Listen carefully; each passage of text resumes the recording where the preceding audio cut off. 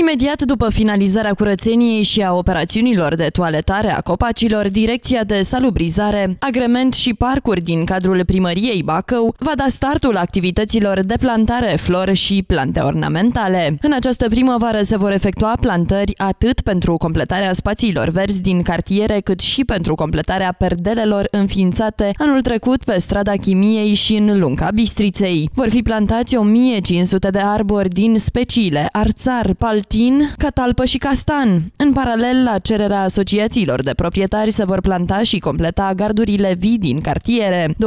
de fire de gard viu sunt pregătite pentru plantare pentru că se va lucra pe toată perioada însămânțărilor, pentru că este o activitate care se pretează doar în luna martie și pentru că este vorba de estetica întregului oraș,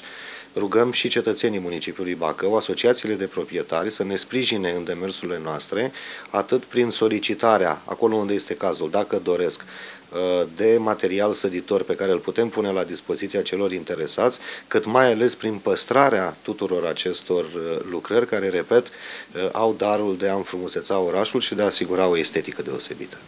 Pentru înfrumusețarea spațiilor verzi și a zonelor publice din Bacău, la sfârșitul anului 2013 au fost plantați 63.000 de bulbi de lalele, iar la mijlocul lunii martie vor fi plantate 20.000 de panseluțe. Autoritățile locale anunță că în apropierea Sfintelor Sărbători de Paște, orașul va fi înfrumusețat cu 40.000 de fire de plante mature din speciile gazanie, petunie, mușcate și altele. În plus, în Sera și pepiniera primăriei Bacău sunt pregătite 50.000